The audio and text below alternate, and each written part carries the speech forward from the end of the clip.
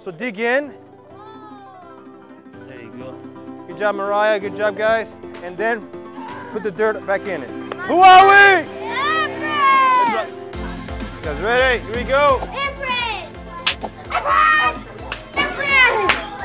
Imprint! Imprints is an after-school program. We meet once a week at Stonehurst Elementary, and the purpose of the program is to help the students identify their spark, which means identifying what your strengths are, what your passions are, your values, your dreams, and how to use your gifts and your talents to make a difference in the world today.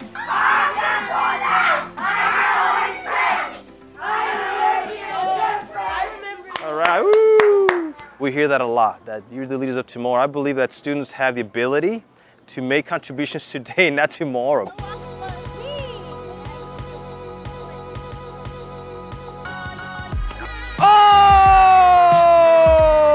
We have a community garden here at the school and they've been very involved in helping to, to create that, and planting, toiling, and weeding, and, and watering. So who wants to plant succulents? One, two, three, four, five, six, seven, eight. It's been a great experience to teach about teamwork and how simple things as a little garden can make a big difference in their school. Ernesto, the fact that they want to be here, I mean, that in itself speaks volumes.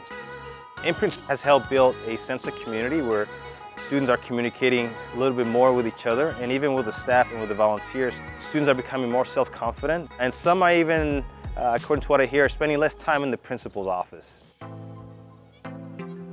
What Imprint taught me was you need to go out of the ordinary, that what you don't actually do all the time. I love how you guys all taught me to be more.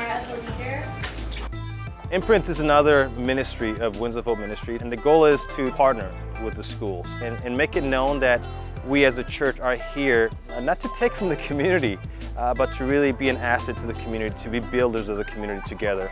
I would like to have imprints move to other schools because I'm moving to a new school.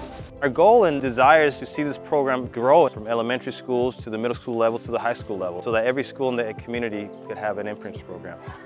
In order to make this happen, we need people like you, people who are willing to commit their time, their energy, their talents, and a commitment to help young people develop their God-given potential. If you'd like to learn more about imprints, send me an email at hopesv at gmail.com. I look forward to hearing from you. What do you think about doing roses next?